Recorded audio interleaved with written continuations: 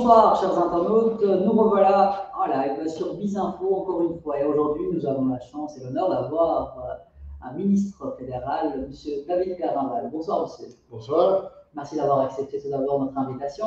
Avec plaisir. Euh, voilà, aujourd'hui, euh, nous allons parler tout d'abord de, de, vos compétences, de ce qui se passe ici en Belgique. mais avant de commencer, vous êtes déjà passé sur notre plateau et tout le monde vous connaît déjà, mais présentation de votre part. Qui est David Clarinval Ah bien, écoutez, euh, David Clarinval est ministre euh, fédéral, donc euh, depuis maintenant un peu plus de deux ans. D'abord ministre du budget et vice-premier ministre. J'ai remplacé Didier Renders comme vice-premier ministre pour l'EMR. Et depuis un, peu plus d'un an maintenant, ministre des classes moyennes, en charge notamment de l'agriculture, mais aussi réformes institutionnelles, donc c'est assez varié. Et à cet égard, j'ai été en première ligne, évidemment, pendant la crise Covid pour le soutien de nos PME. Je suis aussi ministre des indépendants et des PME, des petites et moyennes entreprises. Donc c'est clair que la crise Covid les a malheureusement impactés très fort et donc j'ai été euh, à leur côté euh, pour euh, traverser cette crise vous avez été toujours présent pour les indépendants. On a eu beaucoup d'échos donc, euh, dans les quartiers populaires avec les aides que vous avez fournies. Euh, donc, euh, les, indépendants vous sont reconnaissants. et comme on parle des aides, qu'en est-il aujourd'hui des aides pour les indépendants? Aujourd'hui, on va d'abord faire un, un, petit bilan. Donc, il faut, au cours de ces deux années, vous devez savoir que au niveau fédéral, ce sont près de 6 milliards d'euros, 5,8 milliards d'euros, qui ont été octroyés pour aider les entreprises via le chômage temporaire. Vous savez que les entreprises ont dû mettre une partie de leur personnel au chômage. Ça a coûté 6 milliards d'euros. Ça n'est pas fini puisque ça continue jusqu'au mois de mars. Les entreprises impactées par la crise peuvent toujours utiliser le chômage temporaire. Mais un gros euh, montant qui a été débloqué aussi pour les indépendants, c'est le droit passerelle et la double droit passerelle ainsi que la passerelle euh, pour la quarantaine euh, et également la prime euh, passerelle. Donc ces éléments-là représentent en fait un budget avoisinant les 5,4 milliards d'euros. Donc c'est en fait le plus grand montant qui a été débloqué en faveur des indépendants au cours de ces deux années. C'est inédit, on n'a jamais fait ça et on a guillemets, dû faire évoluer le, statut social et la, protection sociale des travailleurs indépendants pour pouvoir leur permettre ce soutien. Euh, et donc aujourd'hui, ce droit passerelle est encore d'actualité. Alors jusqu'à ce vendredi, il y avait encore des, boîtes de nuit qui euh, étaient fermées et qui donc bénéficiaient encore de la double passerelle. Donc je me réjouis vraiment que les, dernières, euh, les derniers bénéficiaires de, la double passerelle puissent retravailler et donc, il n'y a plus, à partir du mois de mars, il n'y aura plus d'indépendants qui auront la double passerelle. Par contre, il y aura encore toujours la possibilité d'avoir la passerelle simple, c'est-à-dire la passerelle de moins 40%. Donc les indépendants, quel que soit leur secteur aujourd'hui, que ce soit dans l'ORECA, que ce soit même dans les professions libérales, un avocat, euh, que sais-je, une esthéticienne, euh, il peut, s'il a une diminution de chiffre d'affaires par rapport à 2019 de 40%, eh bien, il peut toujours demander une passerelle à sa, caisse d'allocation euh, d'assurance sociale. Donc, c'est son, secrétariat social. Et donc, c'est toujours possible jusque fin mars. On verra euh, s'il est possible de les prolonger. Alors d'aujourd'hui, si les choses continuent comme elles vont sur le plan sanitaire, euh, je pense qu'au-delà du mois de mars, ce ne sera plus utile de prolonger ces mesures, puisqu'on voit quand même que la reprise est, assez forte. Pas dans tous les secteurs, je le dis tout de suite, parce que c'est vrai que certains secteurs ont des difficultés, mais d'une manière globale, on voit qu'on a une reprise en forme de V, parce qu'au niveau de l'économie, euh, manifestement, euh, les gens ont envie de consommer, les gens ont envie de sortir, les gens ont envie de reprofiter de la vie, et c'est tant mieux retrouver une vie normale. Et donc, il euh, utilise aussi les paris forcés, puisque vous savez que la Banque nationale a étudié euh, l'impact de la crise sur les travailleurs et beaucoup de travailleurs n'ont pas pu dépenser. Euh, tous leurs revenus. Et donc, ils ont fait de l'épargne, ce qu'on appelle de l'épargne forcée. On chiffre ça à plusieurs, plus de 10 milliards d'euros. Et donc, ces personnes ont envie de pouvoir en profiter et donc dépensent, ce qui engendre toute une série d'autres effets qu'on parlera peut-être tout à l'heure, notamment en termes d'inflation. Mais donc, certains secteurs souffrent encore, mais d'autres revoient les activités repartir en, flèche, création d'emplois, euh, on s'en réjouit. Et donc, euh, s'il n'y avait pas une nouvelle reprise de l'épidémie, ce que personne n'espère, je crois qu'on va pouvoir regarder l'avenir de cette année-ci avec beaucoup plus d'optimisme. C'est ce qu'on entend aussi. Euh, une deuxième question, ce serait les dispenses donc, que les indépendants ont eues donc, euh, est-ce que ça continue toujours? En effet. Donc là, les dispenses, elles étaient également euh, prolongées pour tous les secteurs impactés par la crise du Covid jusqu'à la fin euh, du mois de mars. Donc il y a encore des dispenses, il y a des exonérations, il y a des diminutions. Tout ça doit être étudié, demandé à la caisse.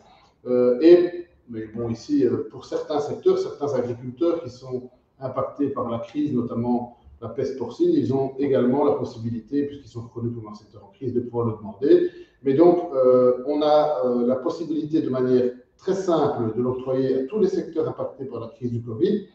Par contre, tous les autres indépendants qui ne sont plus impactés par la crise du Covid, c'est-à-dire les, secteurs qui étaient encore ouverts, qui étaient ouverts dans ce début d'année, ils peuvent aussi faire la demande, mais c'est dans le cadre de la législation classique. Donc là, il y a toute une série de formalités à faire, mais c'est toujours possible. J'attire l'attention que quand vous demandez une exonération de cotisation sociale, soyez bien conscient que cela a un impact sur votre pension et que donc si euh, vous ne régularisez pas à partir d'un certain temps, alors vous risquez d'être, euh, en tout cas que ces années ne comptent pas dans la durée de votre carrière ou votre pension. Donc, chers indépendants, euh, demandez peut-être une diminution des cotisations. Une exonération, c'est possible, mais soyez bien conscient que cela a un impact sur votre pension. Donc, soyez attentifs à régulariser les choses quand, la situation économique sera plus florissante. Merci. Euh, pour ce qui est des, des, trois passerelles, à un moment donné, elles étaient ramenées à une diminution euh, de 65%. Mhm. Pourquoi ce changement d'un coup Beaucoup d'indépendants se sont demandé pourquoi c'était 65, on est retombé à 40, on était à 40. Mais bon, je, n'ai pas l'habitude de faire de langue de bois, donc euh, ce sont des décisions politiques. Et au sein du gouvernement, nous espérions à l'époque que nous sortions euh, de la crise et donc euh, on, était après l'été 2021. On n'avait pas vu venir la, quatrième vague, celle qui est arrivée à l'automne. Et donc, on pensait tous qu'on allait vers une sortie de crise définitive. Et c'est vrai que certains partis qui composent la, la Vivaldi euh, était quand même réticent à prolonger les mesures de crise. Vous l'avez vu, euh, avec mon collègue Derman, le Parti socialiste, euh, et moi, nous avons obtenu la prolongation des mesures de crise à l'époque.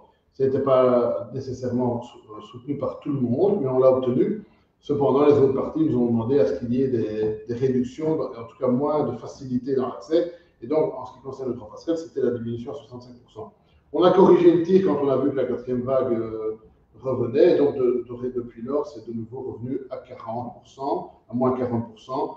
Mais c'est vrai que pendant une certaine période, ça a été moins 65, ce qui a évidemment réduit le nombre de bénéficiaires. Euh, une autre question concernant les, trois passerelles, beaucoup d'internautes nous ont demandé via donc, euh, réseau, ce sont les impôts. Alors après, est-ce que ils auront des impôts donc, à payer concernant les trois personnes reçues? Et euh, par exemple, s'ils ont demandé des dispenses, est-ce que, euh, mis à part euh, la pension, est-ce qu'ils se verront aussi donc, payer plus d'impôts que d'habitude? Oui, donc il faut savoir qu'en Belgique, tous les revenus sont taxés, même le chômage. Le chômage est taxé. Et donc les droits passerelles sont taxés aussi. Alors, euh, il faut, pour savoir à quel taux les indépendants vont être taxés, ils doivent savoir s'ils sont en personne physique ou en personne morale. Personne physique, là c'est facile, c'est un taux préférentiel de 16,5%. Donc la passerelle sera taxée à 16,5%, ce qui est un taux préférentiel puisque évidemment les taux de taxation sont supérieurs en Belgique. Par contre, pour les entrepreneurs qui sont euh, dans société, donc en personne morale. Là, c'est le taux marginal. Donc, ça veut dire que cette passerelle sera ajoutée à la totalité de leurs revenus par ailleurs qui se sont payés ou pas. Et en fonction de la hauteur de leurs revenus, eh bien, ils paieront par les tranches que l'on connaît habituellement, ça qui peut aller jusqu'à 45% dans les tranches supérieures. Donc, il faut être bien conscient que dans certains cas, euh, une bonne partie, on peut même dire un tiers de la passerelle peut être reversée aux impôts quand on est dans des tranches supérieures. Donc soyez quand même attentifs à cela, ce n'est pas net d'impôts, euh, mais il y a un taux préférentiel quand on est en personne physique. Et pour les dispenses euh, demandées ben, Les dispenses, je l'ai dit, non, si vous, si vous, demandez des dispenses, ça n'a pas nécessairement d'impact, sauf sur la pension, comme je l'ai dit, parce que, évidemment, euh, là, vous, êtes confronté à une non prise en charge des années dans votre carrière. Et ça, ça a un impact sur la pension. Euh, mis à part donc, la pandémie, les aides, euh, comme vous le dites, on est presque arrivé à la fin, on l'espère. la relance économique, comment vous pensez, en tant que ministre des Indépendants, travailler à ce propos-là. Comment vous la voyez venir et qu'attendez-vous donc des indépendants pour pour avoir une bonne, bonne relance économique euh, au sein de notre pays? D'abord, euh, il faut bien saluer les, mesures de soutien.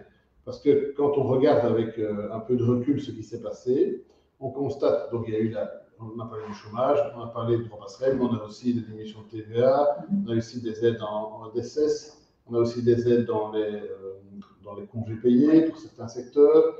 Il y a eu, au niveau des régions, il y a eu des primes qui ont été octroyées de manière ciblée. Donc, quand on additionne la totalité de ces montants, on voit qu'il y a 34 milliards d'euros qui ont été injectés dans, l'économie. Ce sont des montants colossaux. Il faut bien se rendre compte que c'est assez historique. Et euh, c'est vrai que, je l'avais dit quand j'étais ministre du budget, on a cassé la théorie pour aider les entreprises, pour aider les indépendants, pour aider les travailleurs à faire face à cette situation. Et grâce à cela, aujourd'hui, on constate que l'économie a traversé cette période difficile sans trop de casse. Pourquoi? Parce que euh, au niveau de la croissance, il y a eu certes une diminution très importante en 2019, mais aujourd'hui, la, remontée en, 2000, euh, 2020, pardon, une forte diminution en 2020, la remontée en 2021 et en 2022 qui s'annonce, font qu'on a largement déjà récupéré le niveau euh, qui était celui de 2019. Donc, au niveau de la croissance, on a récupéré. Au niveau de la création d'emplois, on voit qu'aujourd'hui, on a créé même pendant la crise, on a créé des emplois et aujourd'hui, le chômage est en diminution. Ça fait 10 mois de diminution en région Wallonne. En Flandre, on a atteint un, taux de chômage assez euh, faible, puisqu'on a proche des 5-6%. Et reste Bruxelles, là, c'est vrai qu'on est à plus de 10% encore en termes de chômage, mais on voit que ça diminue aussi. Donc, euh, malgré tout, malgré la crise, on a créé de l'emploi, on a continué à se développer. Donc, en fait, ce que je veux dire, quand on voit des faillites, en fait, on a divisé par deux le nombre de faillites par rapport à 2019. Ça veut dire que les entreprises ont été bien protégées. Alors aujourd'hui, euh, le fait d'avoir protégé les entreprises fait qu'elles sortent de cette crise. Je parle toujours de manière globale, parce que c'est vrai que certains secteurs très pointus ont parfois été très impactés. Et par exemple, dans les mois de nuit, on voit bien qu'il y a, ou dans l'ORECA, ou dans euh, les, agents de voyage, par exemple, là, il y a vraiment beaucoup de dégâts. Mais par contre, dans certains les autres secteurs, euh, ne s'en sortent pas trop mal. Donc on voit que grâce au soutien, les entreprises ont réussi à passer cette crise et euh, on s'en réjouit. Deux, et c'est ça la portée de votre question, c'est qu'au niveau fédéral et au niveau régional, on, ne va pas en rester là, puisqu'il y a 6 milliards d'euros qui ont été débloqués par la Commission européenne pour euh, un plan de relance, un plan de relance et de résilience. Et donc, en fait, ces 6 milliards d'euros sont partagés en morceaux. Il y a une partie pour la région bruxelloise, partie pour la région flamande, une partie pour la région wallonne et une partie pour le fédéral. Au niveau du fédéral, on a 1 milliard, 1 milliard 200 millions et euh, ils doivent être investis dans les priorités de la Commission européenne. Et en synthèse, pour faire bref, c'est la digitalisation des entreprises, ce sont les politiques durables, donc euh, en lien avec l'écologie, l'énergie, la mobilité verte, et euh, on a aussi le soutien euh, au développement, à la, à, la productivité, mais à la compétitivité de nos entreprises. Donc on doit s'inscrire dans ces priorités-là, euh, notamment avec l'entrepreneuriat. Et c'est ce que l'on a fait en ce qui me concerne. moi, j'ai déposé des fiches et elles sont en train d'être mises en œuvre. Par exemple, pour la digitalisation de l'INASTI, c'est-à-dire que les indépendants vont avoir maintenant, quelques temps, la possibilité de tout faire en ligne plus, on leur demandera plus plusieurs fois les documents, on leur demandera qu'une seule fois. Donc, ça va être un accès plus aisé à l'administration. On va également donner des aides aux entreprises pour qu'elles se protègent des cyberattaques. On a constaté que les PME étaient très fragiles face à la, au cyberterrorisme et euh, manifestement, euh, on entend souvent des entreprises qui ont été hackées par des pirates informatiques et qui doivent payer des rançons pour pouvoir euh, récupérer leurs données. Ce sont, ce sont des politiques que l'on va pouvoir mettre en place pour protéger le PME. Mais il y en a d'autres, par exemple l'économie circulaire, avec mes collègues d'Hermagne et Katabi, on met en place aussi un plan pour booster l'économie circulaire en Belgique. Et dans les régions, c'est pareil, il y a toute une série de centaines de mesures qui sont maintenant en place et elles vont se déployer dans les mois et les années à venir et elles vont créer de nouveaux emplois, elles vont créer de l'activité.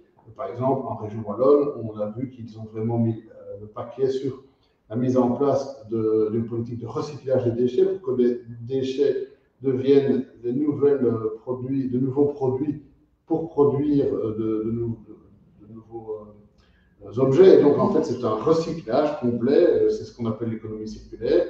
Les déchets des uns deviennent des inputs des autres. Donc, on voit que tous ces éléments-là sont en train de se mettre en place. Et moi, je suis assez optimiste.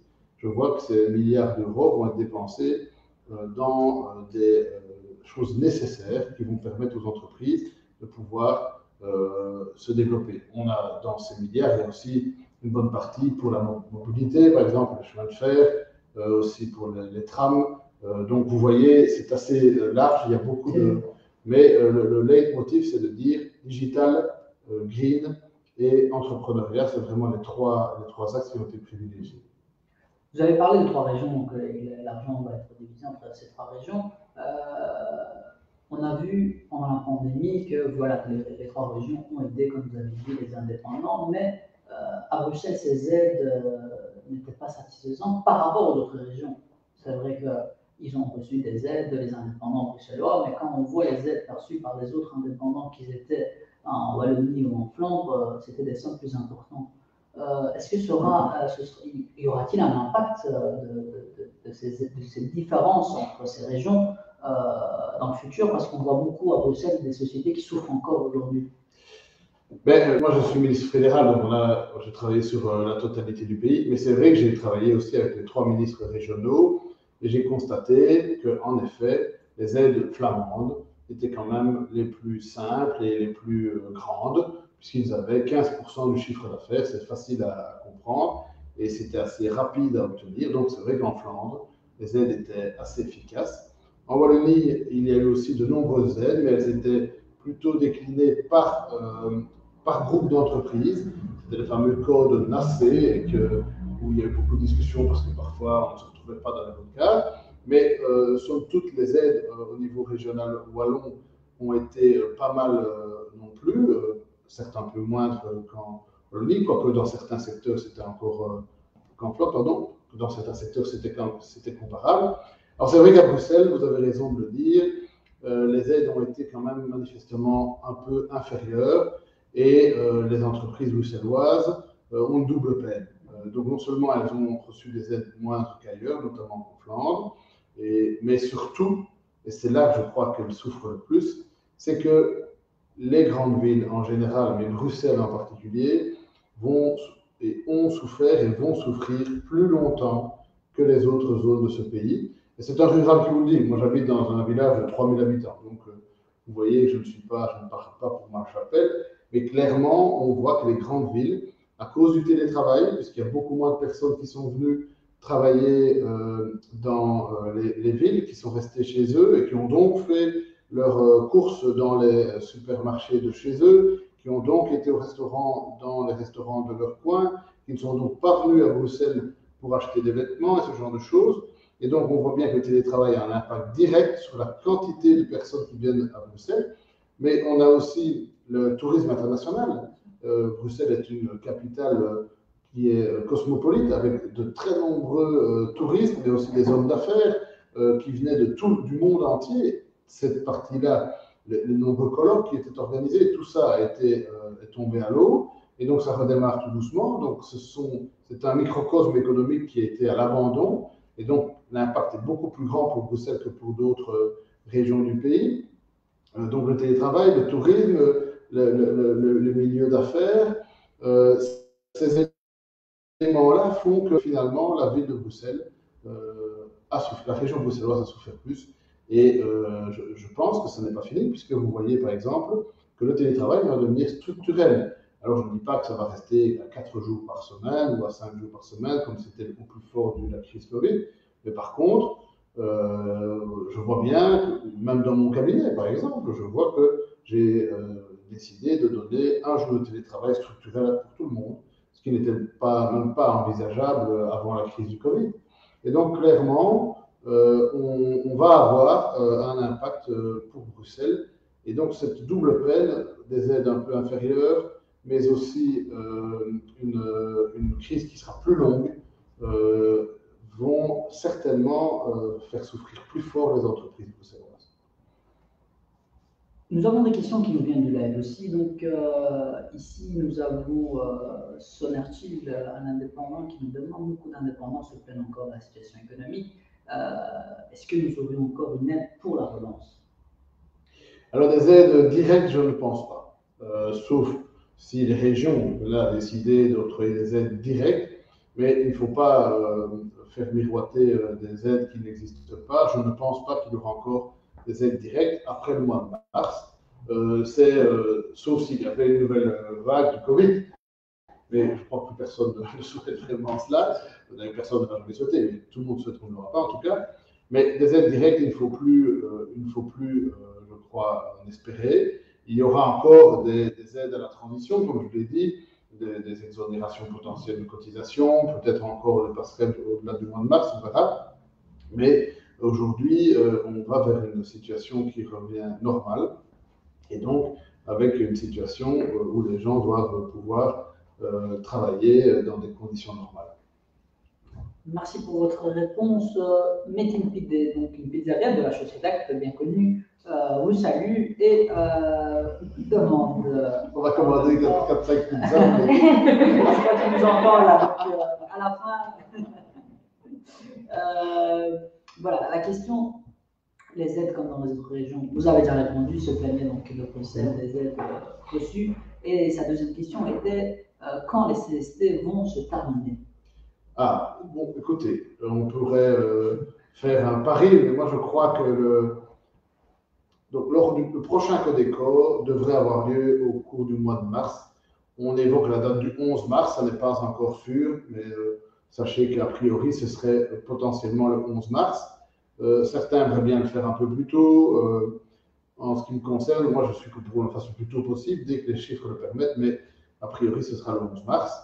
Et là, normalement, j'en ai encore parlé récemment avec des, virologues, normalement, la situation sera suffisamment positive que pour passer en jaune. Vous savez qu'on est en orange, et donc euh, là, on a retrouvé beaucoup de liberté, mais il y a encore le CST. Quand on va passer au code jaune, là, le CST disparaît et on retrouve une situation quasiment normale. Il n'y a plus de masque, il n'y a plus de CST, euh, il reste quelques règles de ventilation dans certains endroits, euh, mais a priori, on retrouve une, vie normale. Et donc, a priori, je pense que mi-mars, le CST disparaîtra je l'espère, en tout cas, je plaiderai pour en, en Codeco. Alors, nous serons encore euh, dans la phase d'urgence pandémique, donc ça ne veut pas dire que le CST a disparu, c'est-à-dire qu'on ne l'utilise plus. Si jamais il y a une cinquième vague qui arrive en automne, euh, on pourrait redéclarer l'urgence pandémique, ressortir le baromètre, ressortir le CST. Ces outils seraient toujours disponibles, mais évidemment, nous, ce que l'on souhaite, c'est que la loi d'urgence pandémique soit abandonnée le plus vite possible et que donc tous ces outils ne seront plus euh, utilisés et on retrouvera la totale liberté que l'on Mais je, crois qu'on va rester en. Mais ça, ici, je suis dans la. C'est un, avis totalement personnel, euh, je ne suis pas neurologue, hein, mais je pense qu'on va vers le beau temps, on va vers le printemps. En mars, on, euh, passe en col jaune. Espérons qu'il n'y ait plus de vagues au, au, printemps. On arrive à un été et là, on sait bien que c'est un virus qui est devenu euh, saisonnier, donc il y a très peu de chances qu'il y ait quelque chose qui se passe cet été. Et donc, on, regardera avec intérêt ce qui se passera courant le mois d'octobre, novembre. Et si tout va bien, on n'en parlera plus à ce moment-là. Peut-être peut-être ferons-nous vacciner les personnes euh, âgées, les personnes fragiles, pour les protéger, comme on le fait pour la grippe, en fin de compte. Hein. Euh, d'ailleurs, j'ai entendu dire que certains euh, laboratoires travaillent pour mettre le vaccin Covid dans le vaccin de la grippe. Comme ça, vous faites les deux vaccins en une seule fois et vous protégez les personnes les plus fragiles. Mais les autres personnes retrouvent la, liberté. Et, et, donc, je pense que cet automne, on aura la, réponse quant à savoir si on est totalement débarrassé de cette épidémie. Mais je suis sûr qu'on va retrouver 99% de notre liberté dès le mois de mars. On croise les doigts, on l'espère. C'est un pari, hein, mais je, suis assez confiant. Euh, voilà, donc euh, ici, autre, euh, un autre internaute nous dit que beaucoup d'entreprises souffrent et beaucoup sont poussées aux faillites et beaucoup de sociétés qui dorment pour l'instant grâce aux aides, donc vivent encore. Quand les aides vont tomber, euh, seront ramenées aux faillites. Est-ce que vous attendez un, nombre plus grand de faillites euh? Donc, au niveau faillite, on a constaté en effet que tant en 2020 qu'en 2021, on a divisé par deux le nombre de faillites par rapport à 2019. Donc, ça veut dire que les entreprises ont bien été protégées puisqu'elles ne sont pas tombées en faillite, mais peut-être que certaines entreprises qui auraient dû tomber en faillite normalement ne sont pas tombées en faillite grâce aux aides. Maintenant, on parle de quelques milliers d'entreprises. Donc c'est clair que si on a été un peu trop généreux avec quelques milliers d'entreprises, sachez que c'était 1 200 000 indépendants qui, étaient, euh, qui, existent dans ce pays. Donc voilà, je crois que ça valait la peine peut-être d'être euh, peut-être quelques friteries euh, qui ont été un peu trop soutenues, mais voilà, euh, on ne refait pas l'histoire, il fallait agir rapidement, mais ça représente quelques cas marginaux, mais la majorité. Donc on voit moins de faillites en 20, moins de faillites en 21. Euh, par contre, c'est vrai que au mois de janvier 22, on constate quand même une, augmentation du nombre de faillites. Donc ce mois-ci, par rapport au mois de l'année dernière, il y a une augmentation. Donc il est possible que les faillites, ou qu'on récupère une partie des faillites qui avaient été qui auraient dû survenir en 20 ou en 21, qu'on les récupère en 22. Euh, c'est pas impossible qu'en effet on ait un plus grand nombre de faillites cette année-ci que les, certainement les deux années, mais même que peut-être 2019. D'un autre côté, euh, voilà, euh, c'est la vie normale des sociétés. À un moment donné, euh, pour des raisons XY, certaines sociétés disparaissent. Mais par contre, ce qui est assez paradoxal, c'est le fait qu'on a eu en 20 et 21 un plus grand nombre de créations d'entreprises que d'habitude. Donc, c'est un paradoxe. Il y, a, eu deux paradoxes pendant cette crise. Le premier, on a créé plus d'entreprises qu'en période normale.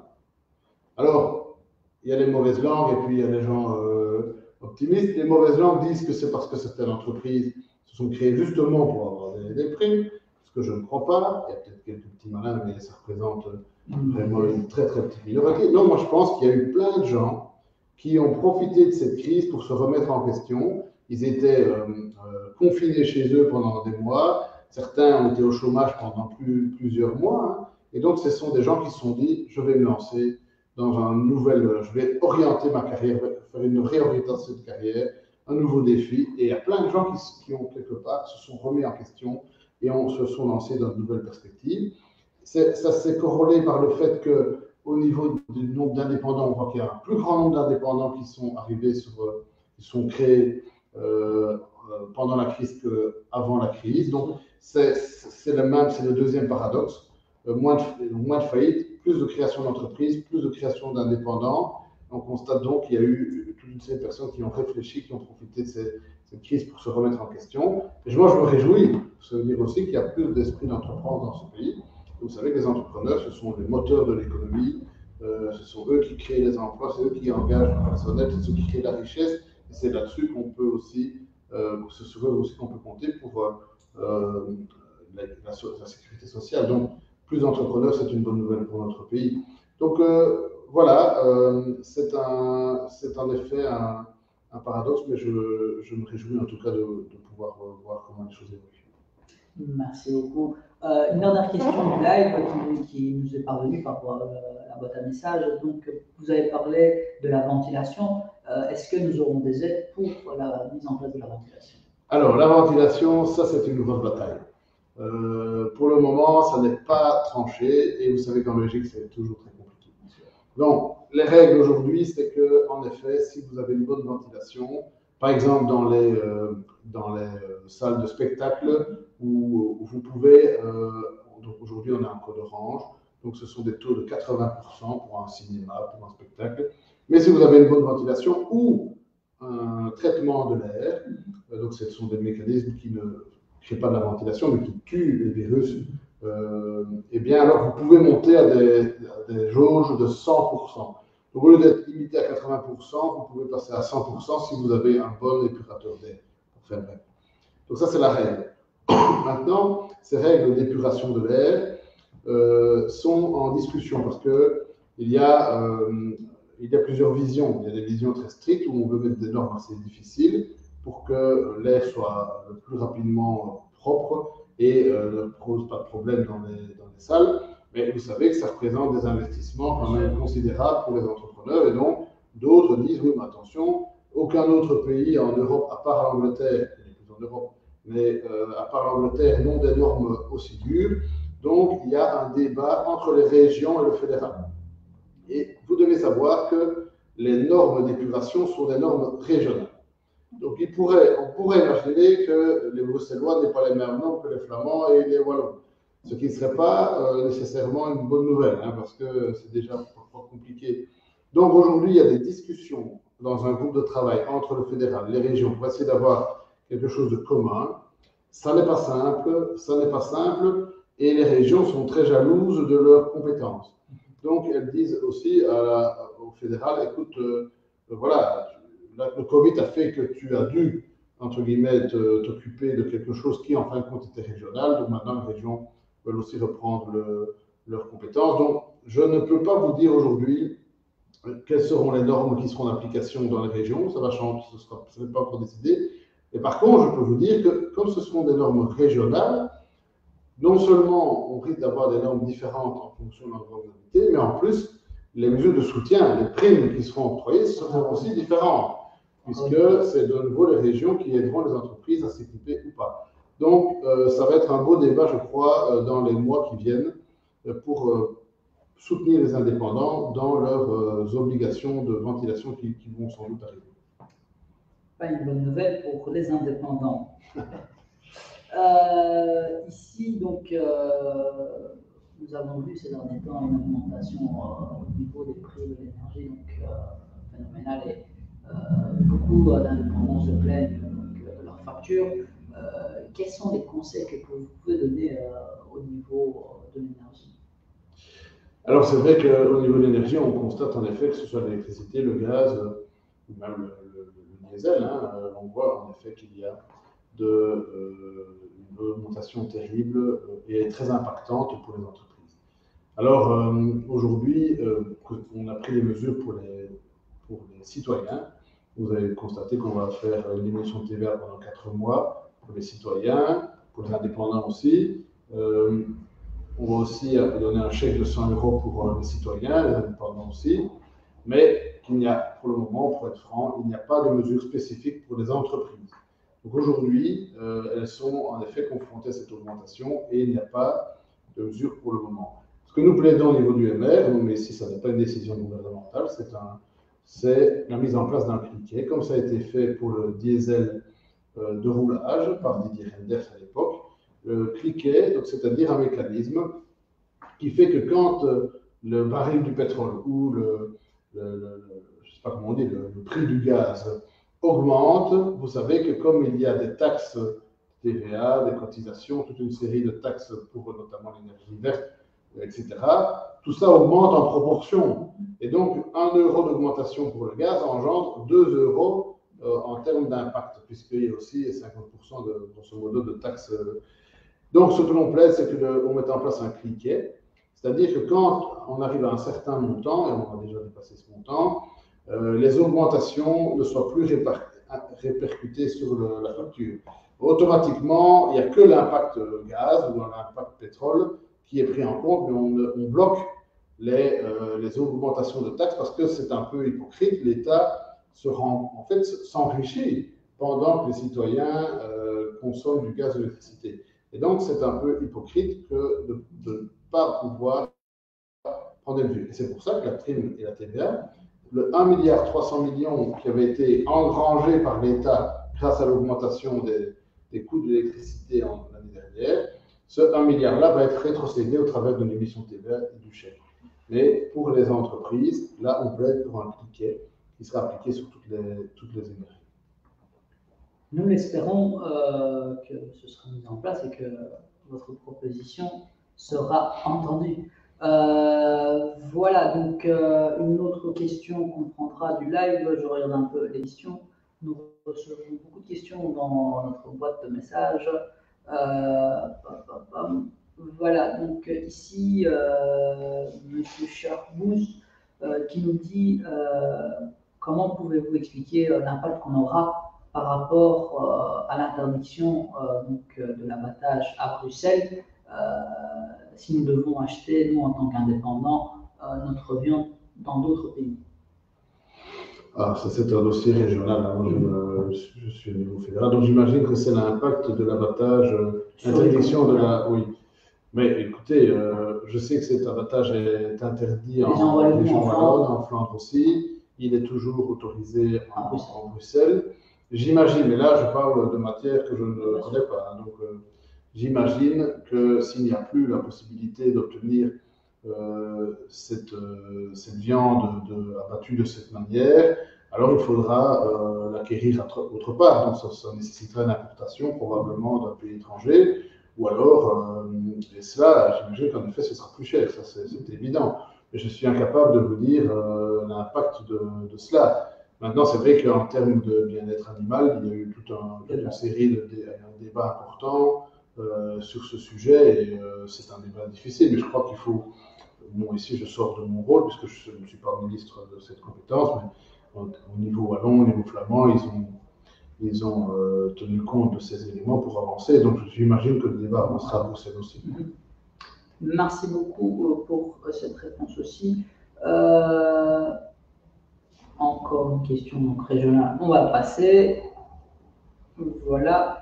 Euh, au niveau des inflations, euh, que pouvez-vous nous dire? Parce qu'on euh, voit qu'il y a une inflation dans, tout, mais que les, ménages, que ce soit au niveau salarial, il n'y a rien qui augmente, mais tous les prix augmentent. Donc après cette crise d'inflation sur au niveau... Donc en fait, au niveau de l'inflation, c'est vrai que ce mois de janvier, on a eu un taux d'inflation de 7%. C'est un taux d'inflation qu'on n'avait plus connu depuis les années 70, donc c'est assez inquiétant. Alors, euh, la chance que nous avons en Belgique, qu'on est un des seuls pays au monde à disposer d'une indexation automatique des salaires, ce qui veut dire qu'en fait, euh, l'inflation augmente, donc les salaires augmentent euh, automatiquement de par l'inflation et de par l'indexation des salaires. Et donc, par exemple, cette, cette, année, on aura 2 fois 2% d'indexation, notamment pour les, salaires, pour les allocations, euh, parce qu'il y a cette indexation automatique. Quand on a 7% en janvier, ça ne veut pas dire qu'on aura 7% sur toute l'année. Hein. Il y a évidemment des variations. Et donc là, c'est une manière de protéger les citoyens, c'est que les, euh, les, allocations et les salaires sont indexés. Ça, ça n'est remis en question par personne. Euh, et c'est dans l'accord du gouvernement, on ne touchera pas à cela. Donc, c'est une manière d'amortir le choc pour les, pour les gens. Alors, sinon, c'est vrai que l'inflation est en train d'exploser, mais pas seulement. On a aussi les retards dans les livraisons. On voit que, par exemple, les, les, les bateaux qui transportent des conteneurs sont pour le moment bloqués à quai, que ce soit aux États-Unis, en Europe. Il y a un manque criant de conteneurs. Euh, le, prix d'un conteneur pour aller de Chine vers euh, la Belgique a été multiplié par 3 en même pas un an. Et donc, ça veut dire que tous les produits importés sont plus chers. Et donc, moi, je suis pour une réflexion plus globale au niveau de l'inflation. C'est que, certes, il faut des mesures à court terme pour.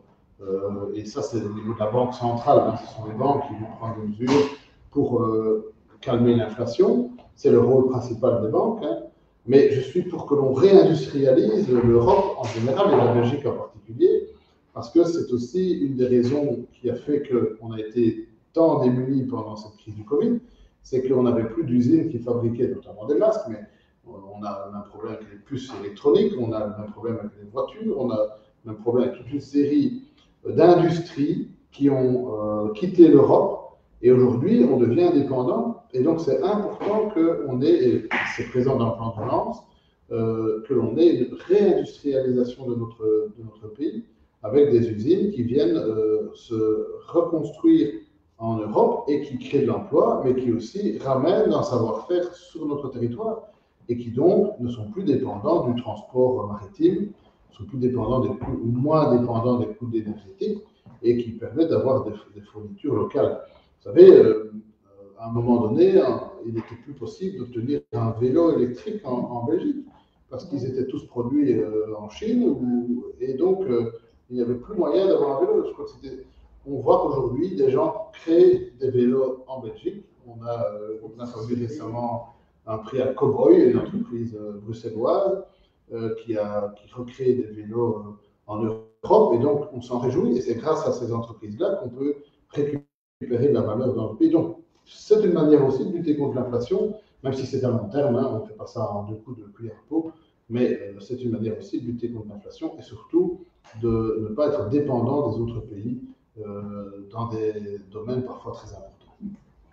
Euh, nous avons fait 45 minutes de live, nous allons arrêter notre live, mais juste une dernière question euh, qu'on vous posera, ce sera sur le e-commerce. Donc, qu'en pensez-vous Dernièrement, on a eu beaucoup de débats donc, avec des sorties d'autres présidents de parti.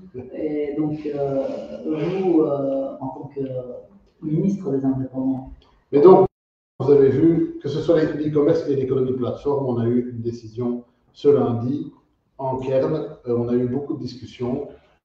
Donc, vous devez savoir, en fait, moi je suis ministre des PME, eh bien, la moitié des PME aujourd'hui se lancent dans l'e-commerce. Il y a beaucoup de petites entreprises qui maintenant utilisent Facebook, utilisent euh, les euh, plateformes pour vendre leurs produits et c'est une excellente nouvelle.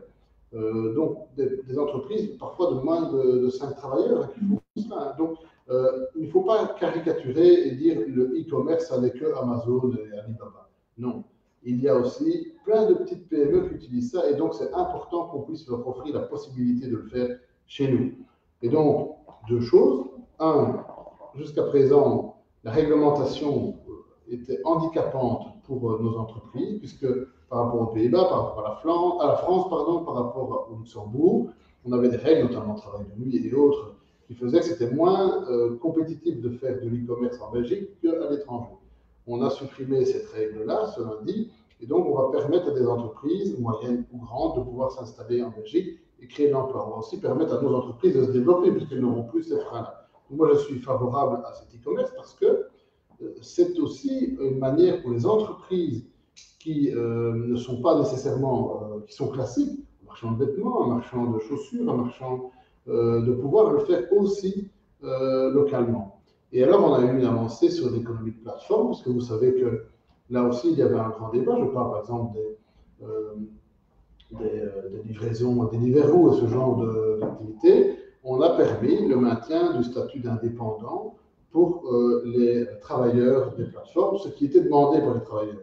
80% des travailleurs de cette économie demandaient à avoir euh, le statut d'indépendant. Mais ce que l'on a décidé, et qui est très important, c'est que dorénavant, dès qu'ils commenceront à travailler, quel que soit leur statut, ils auront droit à une assurance maladie, une assurance accident du travail, qui n'était pas présente jusqu'à présent. Donc aujourd'hui, un livreur à vélo euh, des eh bien, s'il a un accident, même s'il est sur le chemin du travail, il n'était pas protégé. On a décidé que ça n'était pas acceptable et que dorénavant, quel que soit le statut du livreur, il allait avoir cette protection sociale. Évidemment, s'il y a un accident, une maladie en, lien avec cette euh, activité, il sera protégé. Donc c'est une avancée sociale importante. Je crois qu'on peut se réjouir vraiment des décisions Une réglementation 2.0 qu'on attendait. Exactement. Euh, merci beaucoup pour cette réponse et ces éclaircissements. Vous avez été encore très... Euh, très bon dans, vos réponses apportées. Euh, à chaque fois qu'on vous a, vous répondez à toutes les questions ah. euh, et vous informez les internautes de manière très claire. Euh, donc, on vous remercie d'avoir participé. Un dernier mot à nos internautes ben, Écoutez, j'entends qu'il y a beaucoup d'indépendants et beaucoup de travailleurs qui sont, qui sont à l'écoute. Donc, c'est clair que la période qu'on a vécue a été difficile, deux ans dans cette crise. mais je crois maintenant qu'on va vers des jours meilleurs et l'État fédéral sera à leur côté pour continuer à vous aider, mais aussi pour mettre en place des plans, un plan de relance qui va créer de l'activité, créer de la richesse, créer des emplois et permettre à toutes les entreprises de pouvoir développer leur, leur activité. C'est en tout cas euh, mon objectif et je pense que mes collègues au gouvernement le partagent. Et donc je, leur souhaite euh, bon, euh, bon courage pour affronter les, mois qui viennent, mais je pense qu'on a, on a fait traverser le plus difficile et qu'on va vers des jours meilleurs.